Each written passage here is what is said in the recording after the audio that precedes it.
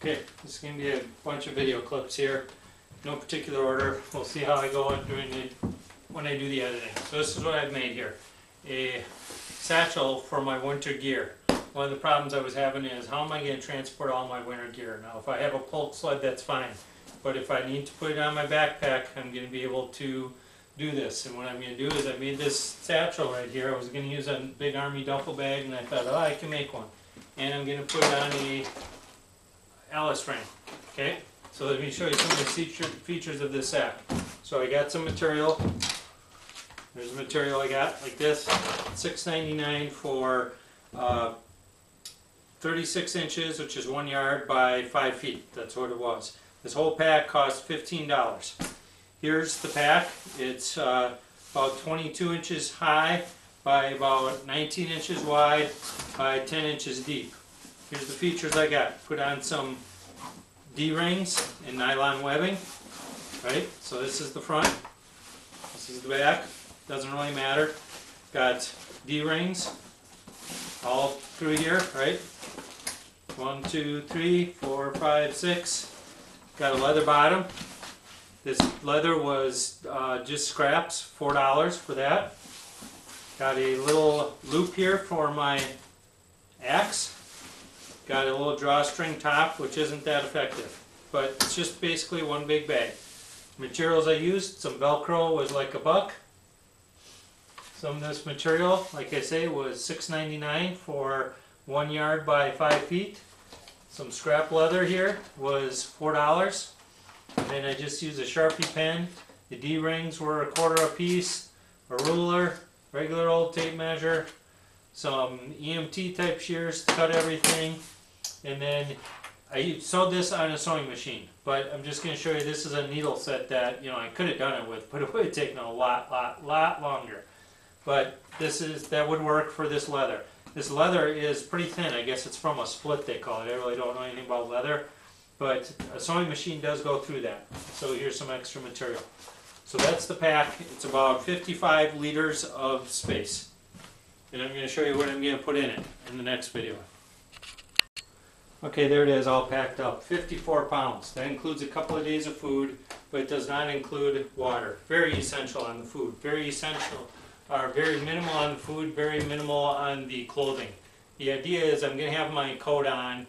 I'm going to have everything be able to be dry because I have a tent with a warm stove in it, so I can hang up my clothes to dry out. Once I get that fire going, I'm good as long as firewood is available.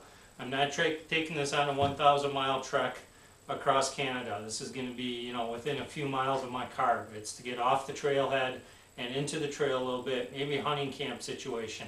If I have a pulk sled, of course, I'm going to put this baby in a pulk sled. Uh, I'm also going to be relying on somebody else to carry some food, but I'm still pretty much self-sufficient here.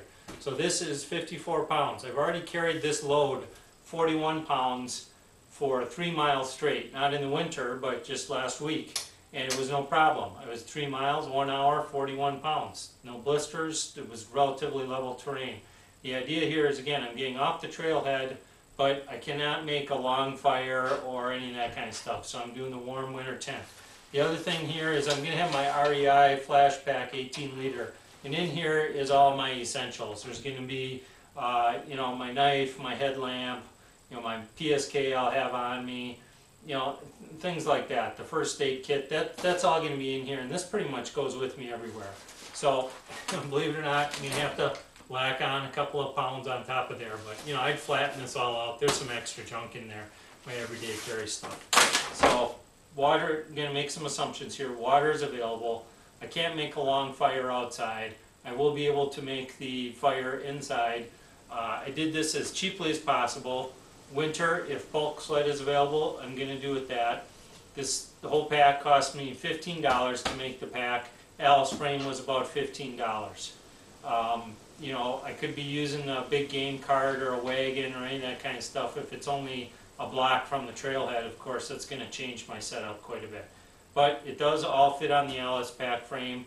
Uh, the other advantage of having the Alice pack frame is I can use it to haul firewood, to haul water, to really haul any other big load. It's, the Alice pack is not the most comfortable, that frame. I've put on some foam padding and I can sew some more stuff.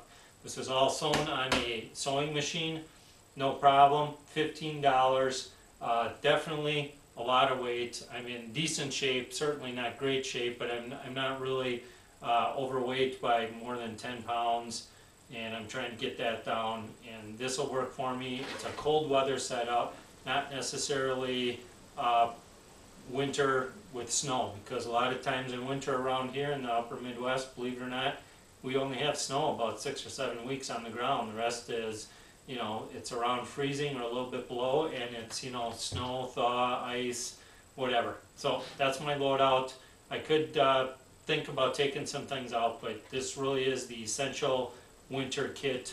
54 pounds, minimal amount of food, minimal amount of extra clothing. Uh, that can all be changed if I have to make multiple trips, or I have a pulk sled, or somebody's with me. So that's my thoughts. The project was a lot of fun.